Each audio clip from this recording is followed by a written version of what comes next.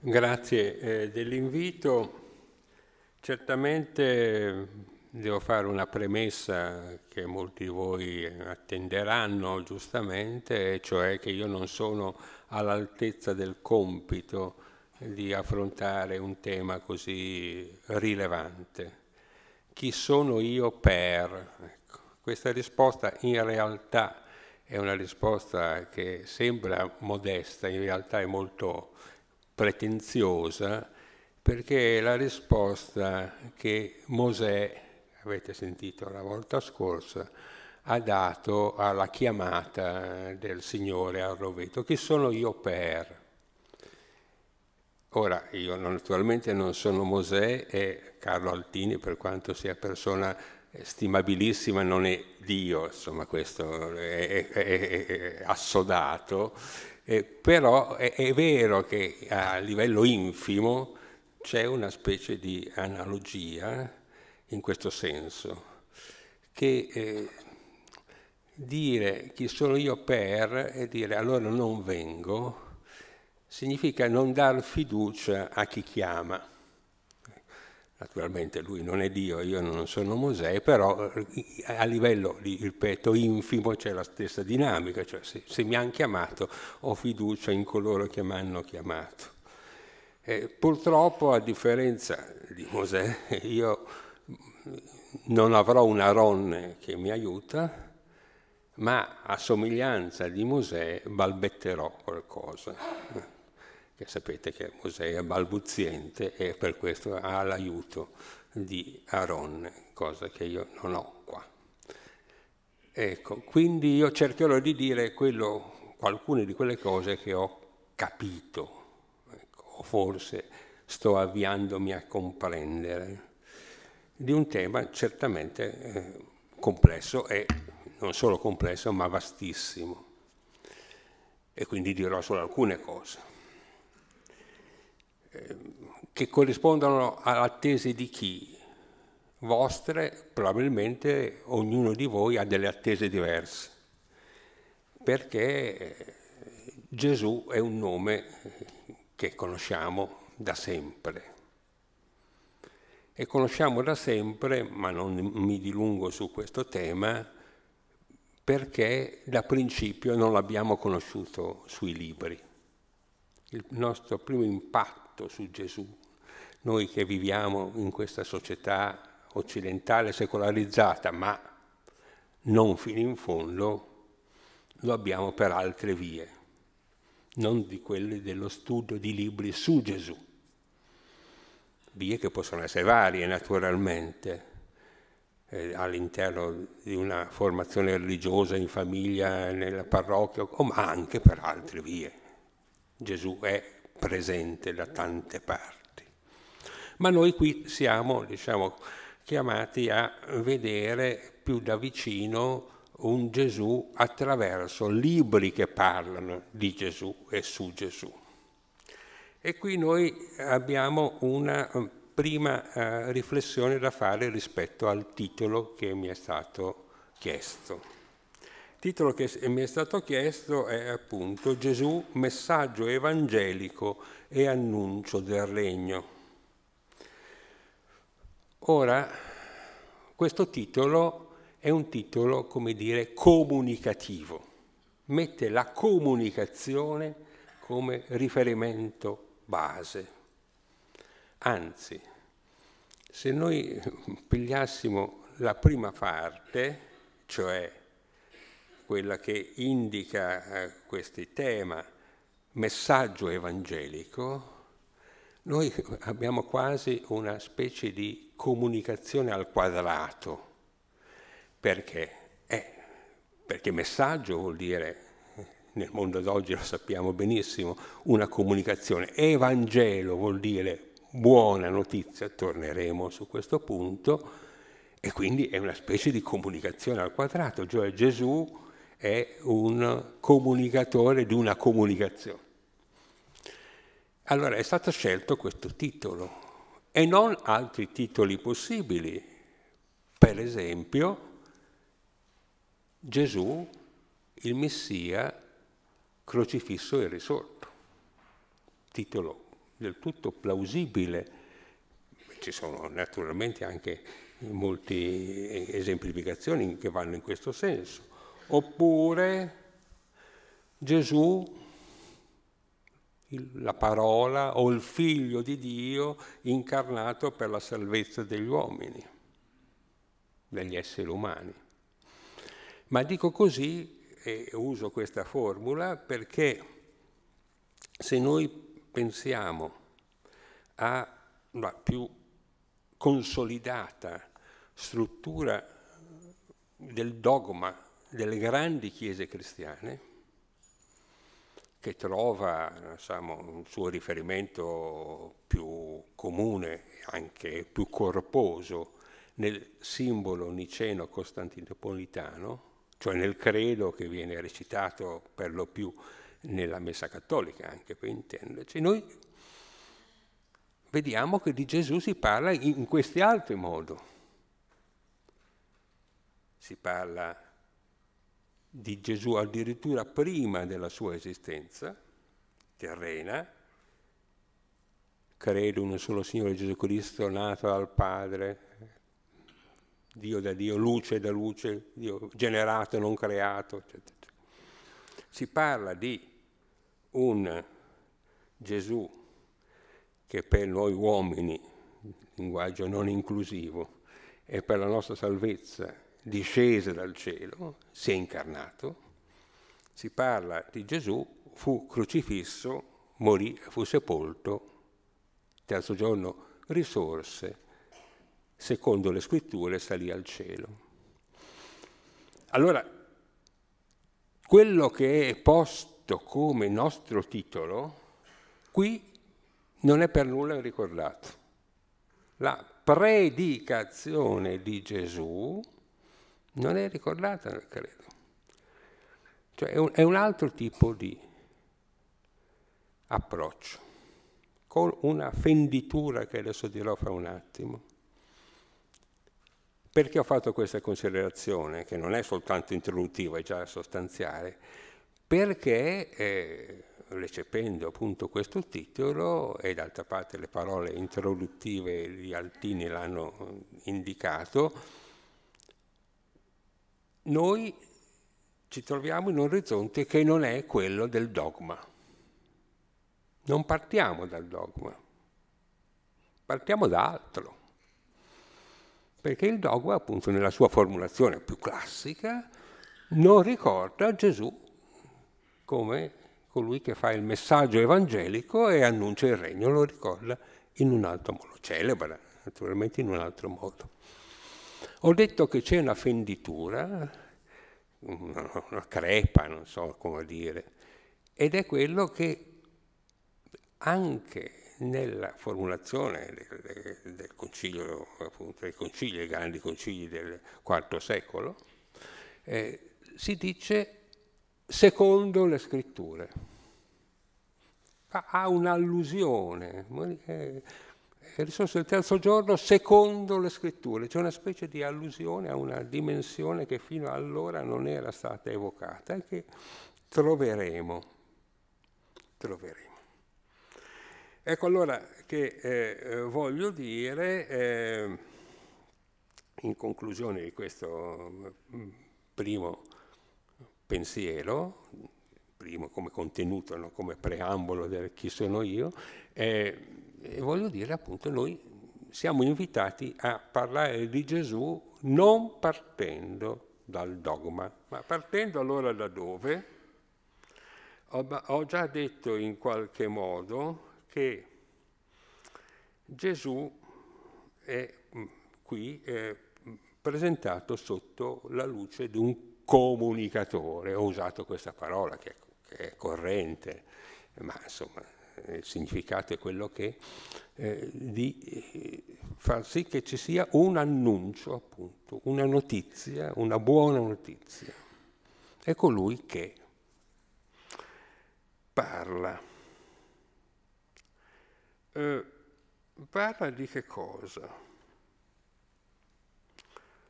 Parla, e troviamo questa eh, espressione, del, del il messaggio evangelico.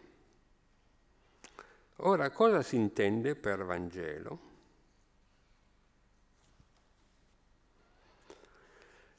Se io chiedo a una persona mediamente cos'è un Vangelo, pensa a uno scritto. Se è un po' più, diciamo, familiare, dice, beh, ci sono molti scritti, ce ne sono quattro che sono considerati canonici, cioè che sono parte costitutiva della Bibbia cristiana, Matteo, Marco, Luca, Giovanni. Ce ne sono altri che vengono chiamati apocrifi perché non rientrano in questi quattro. Comunque è un genere letterario che ha delle caratteristiche. Quale lo diremo subito, ma insomma questa è la prima risposta, io credo. Che cos'è il Vangelo? Cioè, è un genere letterario, un tipo di racconto. Ma questa connotazione, che è naturalmente corrispondente a una parte eh, di contenuto, avviene soltanto verso la fine del secondo secolo. Fino alla fine del secondo secolo questa parola c'era, ma non aveva questo significato. Quindi dovrebbe averne avute altri. Cioè, il significato, lo ripeto, di Vangelo come un testo scritto che parli di Gesù è un, un significato pienamente attestato e che è diventato comune a partire dalla fine del secondo secolo d.C. naturalmente, quindi diciamo 150 anni dopo la morte di Gesù, grosso modo, eh. non è una datazione precisa. Prima, eh, questi scritti sono, sono, di varia data, ma certamente tutti anteriori a questa data così avanzata della scadenza ultima del secondo secolo. Prima si chiamavano memorie apostoliche. Questo è molto importante, non tanto per l'espressione precisa, ma per l'area di significato che porta. Perché memorie? Perché per Gesù non esistono dei miti fondatori che esistono invece per altre figure all'origine di movimenti religiosi.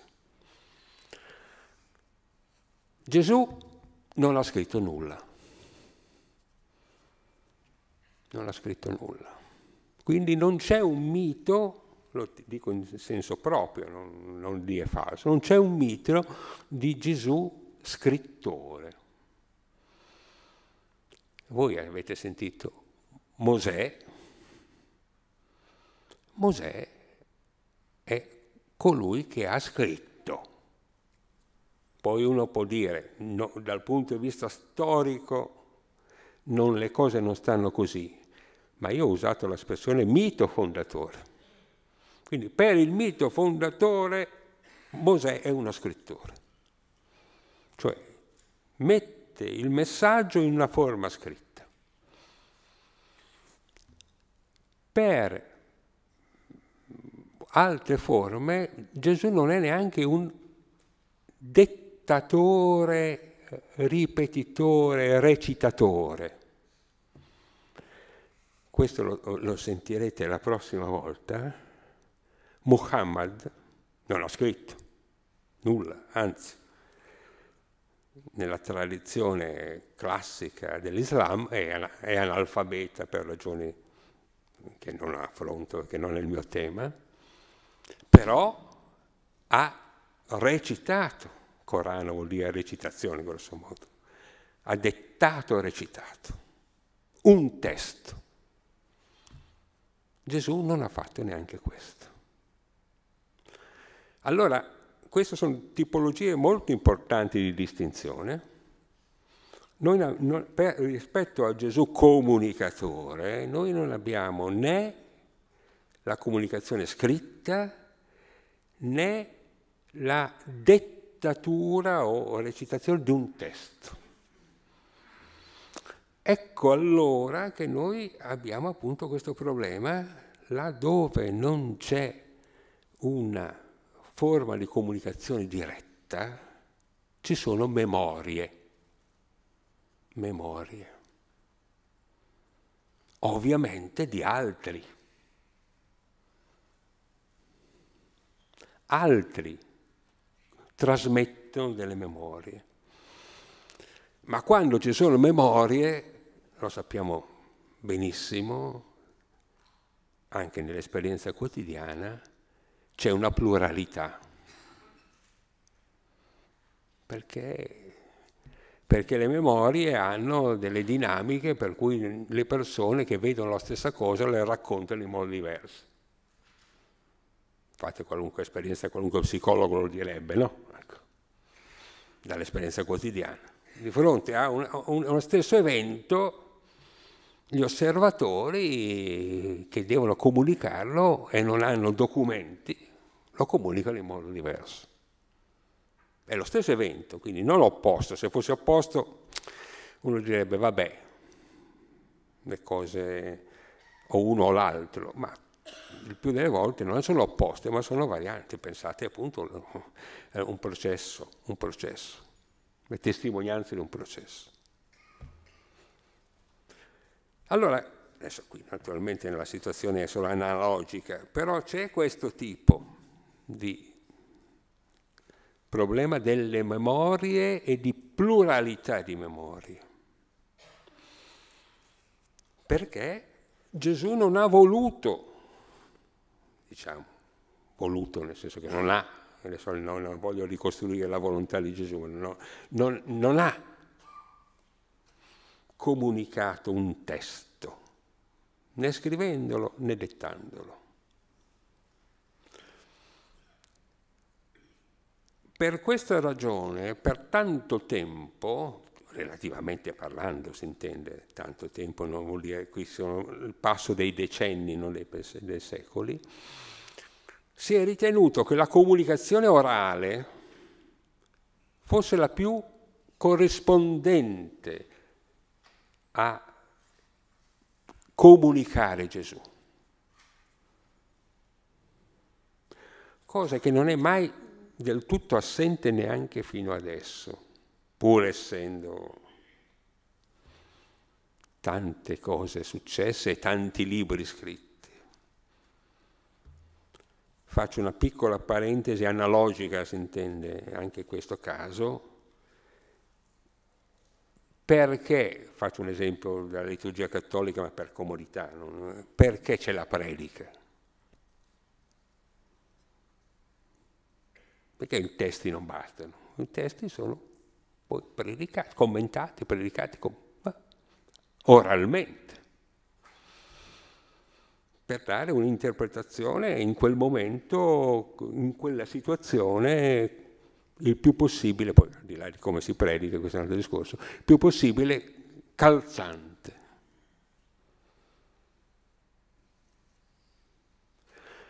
È un'analogia, si intende. Allora, appunto, per tanto, per, per tanto tempo, diciamo così, i, la trasmissione orale era considerata la più autentica All'inizio del secondo secolo Papia di Gerapoli dice, o oh, Ierapolis, dice proprio così. Se noi vogliamo conoscere Gesù dobbiamo sentire davvero, dobbiamo seguire le tradizioni orali. Naturalmente, perché sappiamo questo? Perché Papia l'ha scritto. quindi, perché se avesse solo detto questo non lo sapremmo. Però c'è questa dinamica. Questa dinamica è molto importante perché i generi letterari delle memorie apostoliche cominciano cronologicamente nella forma più scritta sì, ovviamente, ma tra le forme scritte la, la meno, come dire, strutturata in se stessa. E diventa più chiaro se dico l'esempio. I testi più antichi dell'attuale Nuovo Testamento canonico sono le lettere autentiche di Paolo Apostolo. Lettere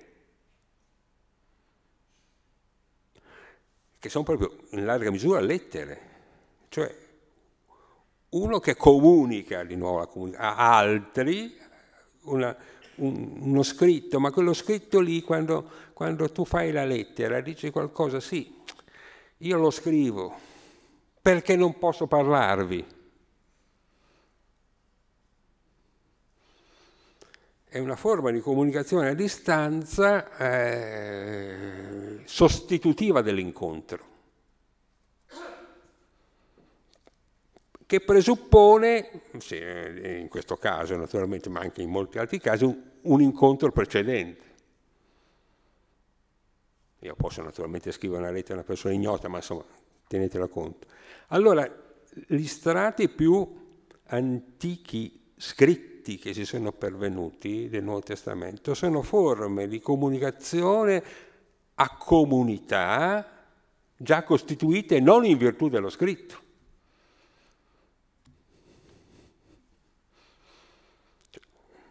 La predicazione, appunto, è una predicazione di tipo orale. Tecnicamente si dice il cherigma, che è appunto una parola, sostantivo, che deriva dal verbo greco che vuol dire predicare, che risso, che vuol dire predicare. Noi abbiamo anche qui, abbiamo il cherigma, cioè l'annuncio originario, no, noi abbiamo la memoria dell'annuncio originario, ma abbiamo vari tipi di memoria, l'ho detto, adesso però non possiamo articolarli tutti e diamo una esemplificazione.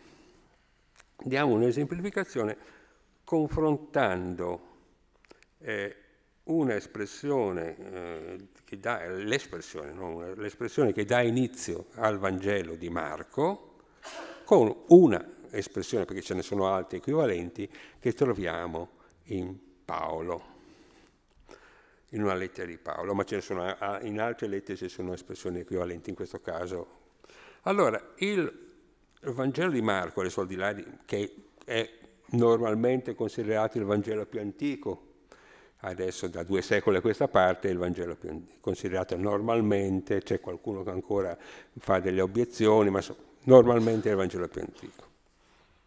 Vangelo inteso secondo, nella forma che ha dal secondo secolo poi, cioè con memoria apostolica, nel senso che ha un riferimento a quelle origini lì, riferimento non vuol dire che è, è storicamente, ma fa quel riferimento alle memorie originali che ha assunto una forma scritta particolare, poi torneremo qual è questa forma scritta.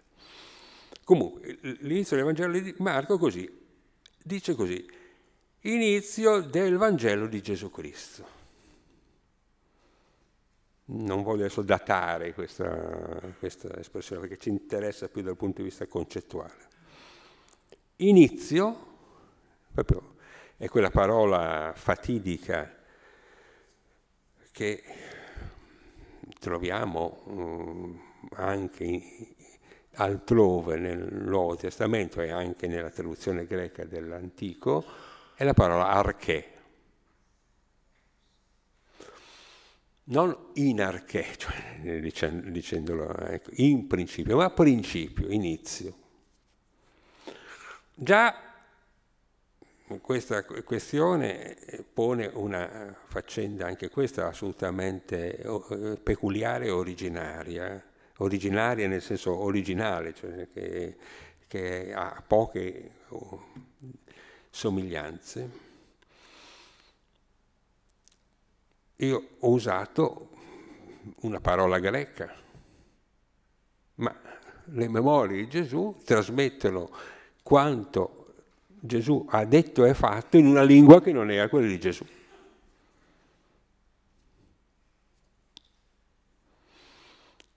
noi trasmettiamo l'insegnamento di Gesù e i fatti di Gesù in una lingua che non è quella di Gesù. Cosa assolutamente inconcepibile in altre tradizioni. Facciamo di nuovo un esempio, Muhammad, quel che riguarda l'Islam, questo non sarebbe assolutamente pensabile che una traduzione possa trasmettere una fedeltà. Va bene. E quindi abbiamo anche la parola Vangelo, che è una parola greca. Inizio del Vangelo di Gesù Cristo. Cosa vuol dire? Beh, adesso sono cose filologicamente molto più complicate, ma stringendo il senso no, non credo di tradirlo. Sappiamo che non vuol dire libro, perché per quanto sia, possiamo postdatare fino a un certo punto, insomma, Marco, comunque non, non siamo alla fine del secondo secolo. Quindi non vuol dire inizio del libro, una prefazione, introduzione a un libro. Quindi non è il Vangelo come libro. Lasciamolo ancora lì, la parola Evangelo, e pensiamo all'altro termine di riferimento, cioè Gesù Cristo, Vangelo di Gesù Cristo. Come ci insegna la grammatica, questo sarebbe un genitivo.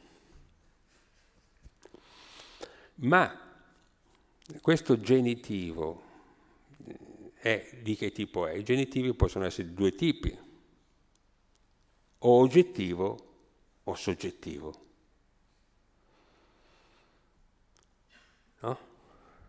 Soggettivo vuol dire che si riferisce eh, il quaderno di Mario, allora vuol dire, questa è una cosa da, da scuola, questo, ma insomma, scusatemi per farmi capire, vuol dire che questo è un genitivo soggettivo, cioè eh, mi riferisco al quaderno che è proprietà di Mario. Allora questo qua è genitivo soggettivo cioè inizia a descrivere l'annuncio compiuto da Gesù. Se noi poi allunghiamo immediatamente l'altra riga, che posso fare soltanto come un'allusione, subito dopo siamo Marco 1, 1, poi andiamo a Marco 1, 2, dice come è scritto nel libro del profeta Isaia, secondo le scritture. Allora, Gesù certo annuncia, ma quell'archè, quell'imprincipio, non è un principio assoluto. Perché, e questo è un dato importante, proprio in tutta la storia cristiana naturalmente, diventerà importante, la predicazione di Gesù ha bisogno di, di, di qualcosa prima. Quel secondo le scritture è qualcosa prima. Non è un punto di, di partenza assoluto perché appunto è l'inizio della predicazione di Gesù, del Vangelo di Gesù, e subito dopo dice come è scritto nel profeta e introduce Giovanni Battista, se non seguiremo questa linea. Ma è importante sottolineare, questo qui non c'è l'espressione tecnica secondo le scritture che se altrove troveremo, ma oltre che la crepa che abbiamo detto nel credo, che c'è un riferimento a qualcosa di scritto che non è l'Evangelo. Ma c'è, quindi non è un principio assoluto, presuppone qualcosa prima. Allora, io vi ho detto oh, che mettiamo in confronto questo inizio del Vangelo di Marco con un'espressione eh, che troviamo in Paolo, ma adesso questo la, la cito da la lettera, prima lettera ai Corinzi 9-12, ma ci sono altre espressioni in Paolo assolutamente equivalenti. E qui dice qui, ma tutto sopportiamo per non mettere ostacolo al Vangelo di Cristo. Questa è l'espressione. Ma troviamo Vangelo di Gesù Cristo in Paolo. Quando troviamo questa espressione, Noi siamo di fronte di nuovo a un genitivo, ma in questo caso è un genitivo oggettivo. Cioè non è il soggetto che parla, ma è il Vangelo che parla. Cioè, mi preoccupo di te, non so, faccio un esempio, il primo che mi viene in mente, di, di te, di noi, di te. È l'oggetto che... Quindi è il buon annuncio di Gesù Cristo. Allora, la parola Vangelo, abbiamo detto che è una parola greca, si trovano espressioni nella versione greca dell'Antico Testamento 70, che naturalmente è precedente al primo secolo, qua, qua e là la parola Vangelo, soprattutto in passi di Isaia, non a caso 40, che ha anche un significato teologico, però è anche vero che è una parola mh, di uso vario nel mondo greco-ellenistico e in particolare proprio a cavallo tra i, l'era precedente e l'era successiva, l'era volgare o l'anno precedente all'era volgare, questa espressione in epoca augustea per esempio, in que, questa espressione abbiamo anche testimonianze, nel senso proprio qui in, caso, in questo caso anche testimonianze scritte, era l'annuncio di qualcosa che era relativo non alla divinità in sé, quanto alla divinità rappresentata da Augusto, specialmente per l'introduzione del calendario giuliano, troviamo che questo calendario doveva essere annunciato e questo annuncio, o al compleanno dell'imperatore doveva essere annunciato e questo è un annuncio buono perché comincia una nuova era.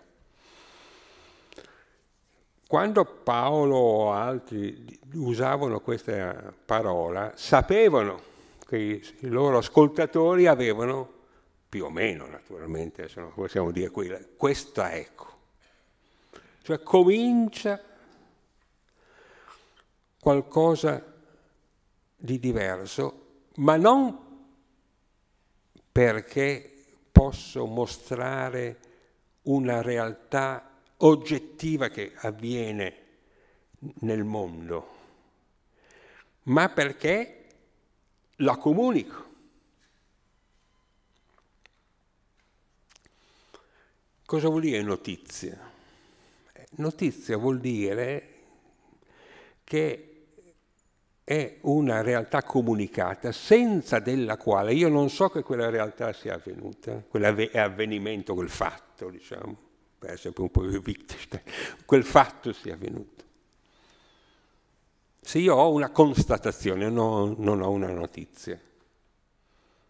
Una notizia è una forma di comunicazione eh, che mi rende partecipe a quello a cui non sono stato presente.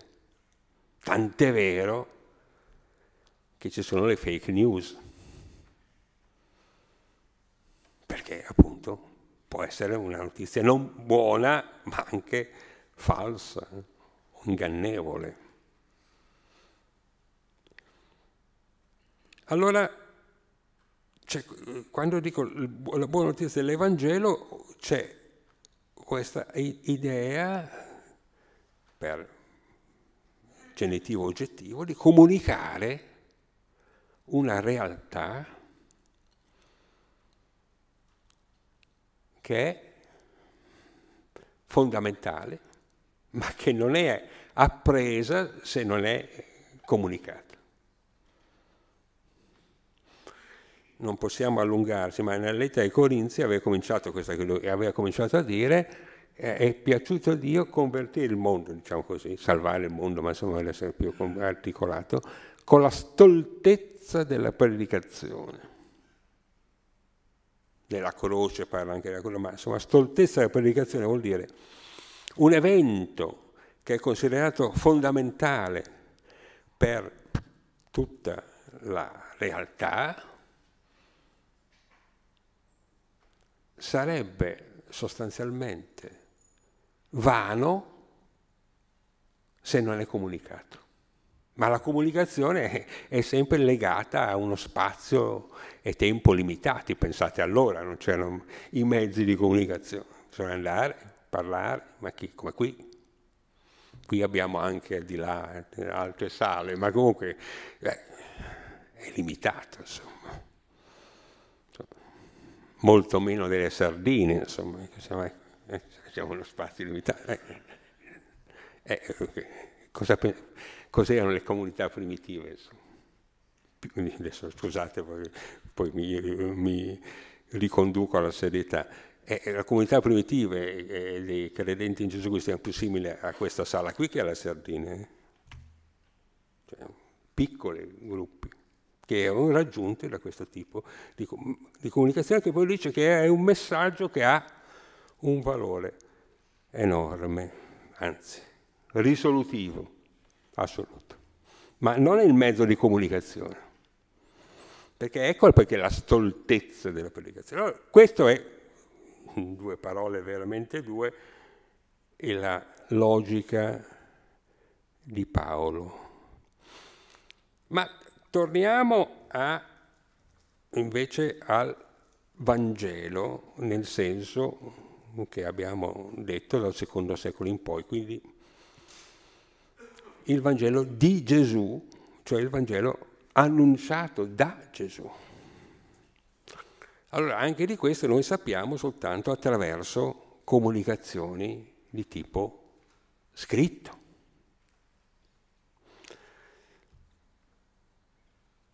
Molto semplificatamente, noi abbiamo tre modelli di Vangelo.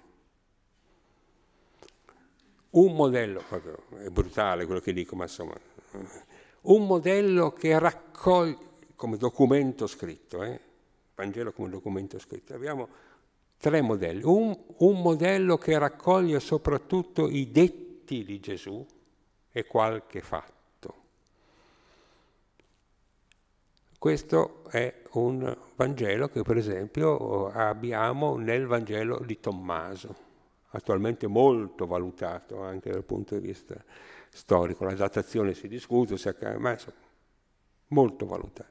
È un insieme soltanto di 114 detti, cioè non c'è un contenuto, una, un'articolazione narrativa, non c'è una, una, una biografia. Poi abbiamo dei Vangeli che parlano solo della passione, cioè quello che è il germe di quello che diventerà il dogma, cioè, eh? morì, fu sepolto, quello che importa. Quello che ha predicato prima. Per esempio il Vangelo di Pietro.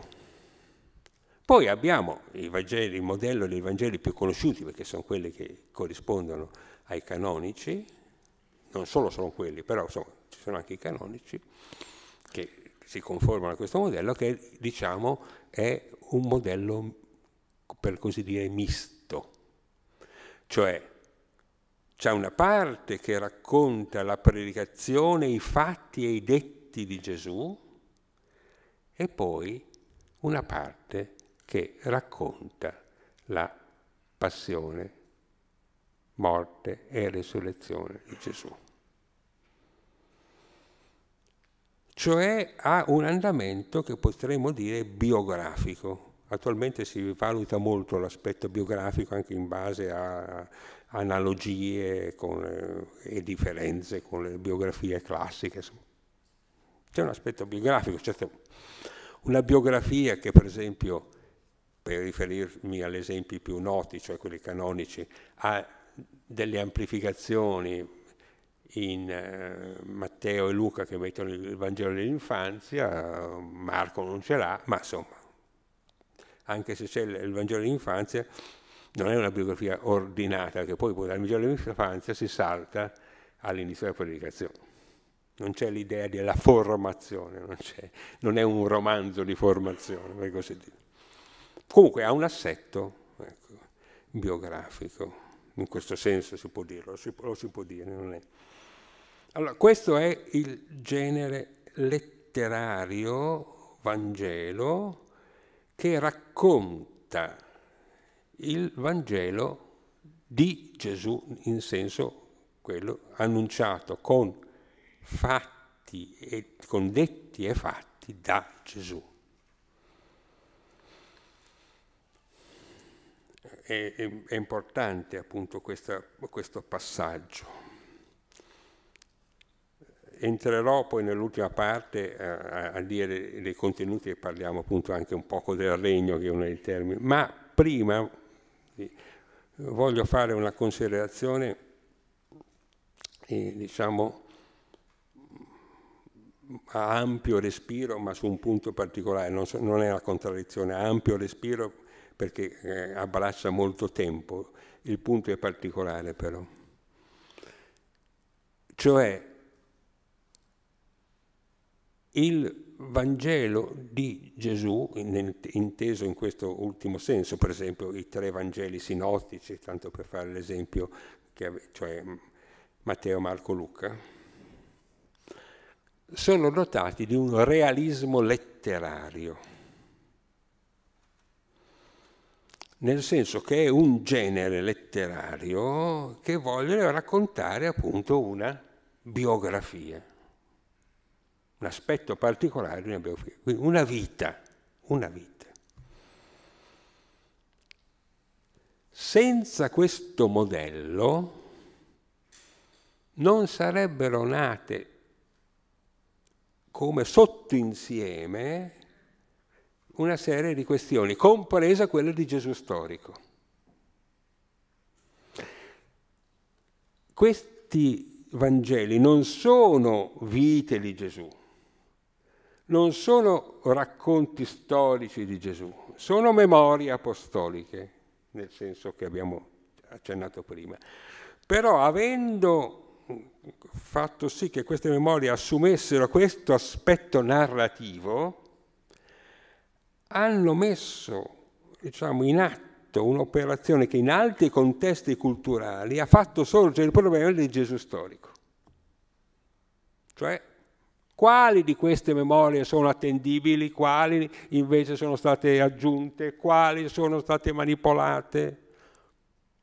Quale rapporto c'è tra queste memorie e le strutture dogmatiche successive? Questo è sostanzialmente il ricordo di Gesù storico. Ma se non ci fossero stati i Vangeli come genere letterario, il problema di Gesù storico non sarebbe sorto. Consentitemi per chiudere questa parentesi una, cioè una battuta, questa è proprio una battuta. Nessuno si è mai posto il problema dello Zeus storico. Cioè se fosse stato soltanto presentato come un mito, fondativo per quanto mito, ma fondativo, nessuno sarebbe posto il problema. Il problema è sorto per tante altre ragioni naturalmente, ma anche per questo realismo letterario dei Vangeli. Questo è un dato molto importante. Allora, nel realismo letterario dei Vangeli si, si presenta appunto questa figura che all'inizio della sua predicazione dà appunto questo Vangelo e questo Vangelo dice in parole diciamo riassuntive questo. Proprio all'inizio del Vangelo di Marco, ma questo trova corrispondenza anche altrove. Convertitevi, cambiate mentalità, cambiate, credete a, a, al Vangelo, il tempo è compiuto e il regno di Dio si avvicina. Allora, Credete al Vangelo, questo l'abbiamo in qualche modo già detto e possiamo riassumerlo molto rapidamente. Credete perché il Vangelo è una buona notizia. Quindi dovete credere, non potete constatare, dovete credere. Dare fiducia eh, quando io ricevo una notizia la prendo per buona se do credito a colui che me la comunica. E siccome colui che la comunica appunto nel, me, nel, mondo dei media, eccetera, non si sa mai chi è, allora ecco do poco credito. Te l'ho detto io, espressione colloquiale. Allora sì, posso aver fiducia. Sì. Però bisogna che ci creda, quindi credete al Vangelo, credete al buon annuncio. Il tempo è compiuto. Questo tempo è kairos, allora adesso qui non è documentario quello che dico, ma pensate a quello che abbiamo detto prima a proposito di Augusto, cioè annuncio il calendario giuliano, eh, c'è il buon annuncio di un... Ecco qui c'è un buon annuncio di un tempo che non è il tempo cronologico, cronos, ma è il tempo qualitativo. Questo parola molto complessa da spiegare cos'è questo kairos. Comunque è un tempo che si è compiuto, cioè è un momento di decisione. Bultmann, è un momento di decisione. Cioè, il tempo è compiuto. Perché il regno di Dio si è avvicinato. Allora, e questo è l'annuncio, della, la, diciamo, l'arco che vuole presentare il Vangelo come Vangelo forma scritta di memorie su Gesù. Eh, questo è l'inizio. Ma anche nei Vangeli misti non abbiamo soltanto questo inizio e la fine, ma abbiamo il raccordo tra l'inizio e la fine. Allora l'inizio è questo qua, cioè l'annuncio, questo annuncio è l'annuncio della prossimità del regno. Quali sono le forme, diciamo, che garantiscono, per così dire, che il regno si sta avvicinando, che danno motivo di credere che il regno si sta avvicinando? Sì, certo l'annuncio stesso, ma non solo l'annuncio stesso. Abbiamo sempre detto, e lo dicono anche adesso con parole tecniche i studiosi, non sono soltanto detti, ma sono detti e fatti. I fatti di Gesù presentati all'inizio del Vangelo sono sostanzialmente quelli di essere un terapeuta e un esorcista, di guarire le malattie e di scacciare i demoni. Il problema dei demoni è molto complesso, naturalmente, perché se- lo scacciare i demoni non è secondo le scritture, cioè non abbiamo delle precedenze, però abbiamo le precedenze nell'ambiente, non è, c'erano molti esorcisti, ma non c'è nella Bibbia ebraica questa roba qua, salvo testi che non sono nella Bibbia ebraica, ma cosiddetti deuterocanonici, ma adesso andiamo nel tecnico. No? Cioè, c'è qualcosa che trattiene la venuta del regno e con cui mi devo confrontare e che dico si sta avvicinando perché sto ottenendo vittoria vittoria su queste realtà opposte al regno. E queste realtà opposte al regno sono, dico in questi termini, la malattia e il demonio. Allora, è il perdono dei peccati. Cioè, la malattia, il demonio, i peccati e quindi accanto alla terapia l'esorcismo c'è il perdono dei peccati, la condivisione della mensa dei peccatori. Se voi pensate diciamo, a un esito lontanissimo di tutta questa dinamica che non è mai stata perduta, anche se non è mai stata affermata in modo diretto, e, e arrivate a, lo dico come un inciso, a Papa Francesco, Papa Francesco dice la predicazione della misericordia è un ricordo lontanissimo di questa struttura qua. Ma non è più Kairos, è diciamo, un tempo cronologico, come ogni tanto ci sono dei ricordi rituali che l'anno delle misericordie, insomma, qualche tentativo di ricostruire, ma invece lì era un momento decisivo. Il regno e si avvicina in modo definitivo, diciamo così, perché guarisco, scaccio i demoni, perdono i peccati. Condivido la mensa con i peccatori. Allora ho detto, e mi avvio a concludere anche se molte altre cose avrei da dire, ma eh, nel, nel senso di dire non, non c'è soltanto l'inizio o è la fine della passione, ma c'è anche quello che li collega. Qual è quello che li collega? E che ha indotto a una delle ragioni che ha indotto a creare questo Vangelo come genere letterario misto,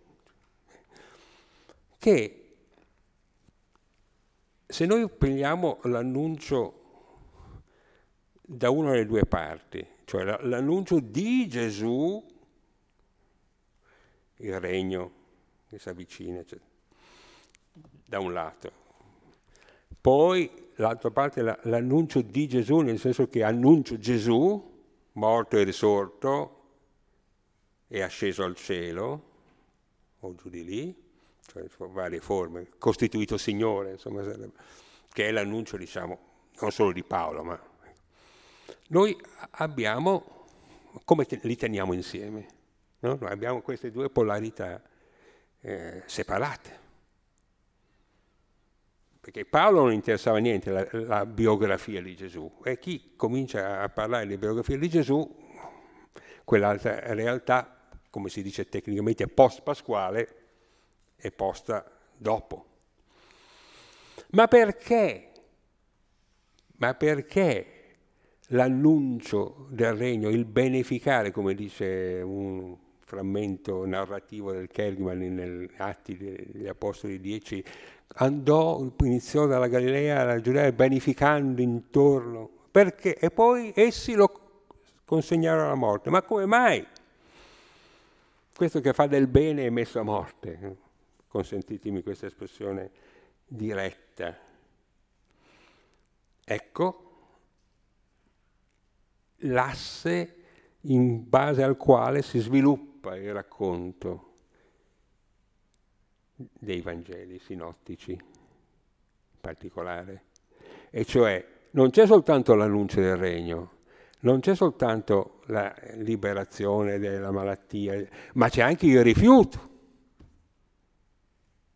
Il rifiuto di accogliere l'annuncio. E allora i Vangeli raccontano non soltanto coloro che accolgono, ma anche coloro che respingono. E in base a questa struttura cominciano a narrare dei preannunci della passione, eccetera, eccetera. Cioè, diciamolo pure, io penso che si possa dire così, ed è un, una caratteristica importantissima eh, del, del genere letterario del Vangelo, raccontano anche il fallimento di Gesù.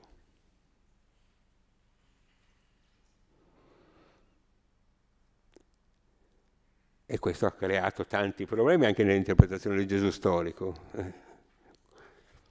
Quando, diciamo così, psicologizzando troppo, quando si accorse di dover morire?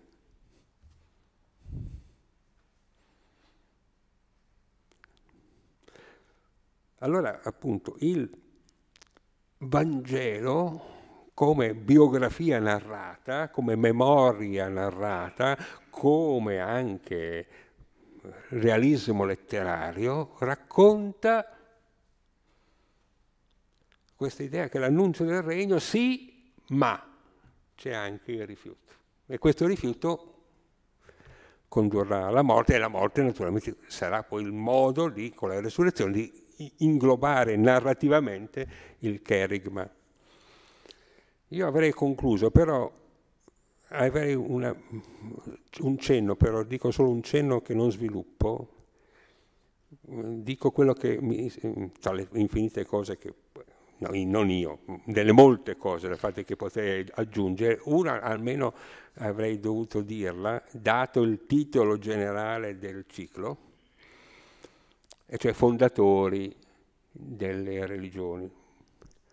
Gesù ha fondato il cristianesimo, c'è un, un famoso libro, c'è un famoso biblista che Dodd, che è stato nella prima metà del Novecento molto importante, eh, il quale ha scritto in tarda età proprio il fondatore del cristianesimo, ma certamente noi diciamo no, insomma, chiaro che il cristianesimo... È... E questo eh, può trovare diciamo, un accordo abbastanza comune anche dentro le ortodossie. Molto più delicato sarebbe porre la questione anche all'interno delle ortodossie se Gesù ha fondato la Chiesa. Perché lì molti risponderebbero di sì e altri no. E il famoso frammento de Tu es Petrus, insomma, ha fino ad oggi un suo peso non indifferente, ma di questo non parlo a meno che voi non me lo chiediate successivamente. Grazie.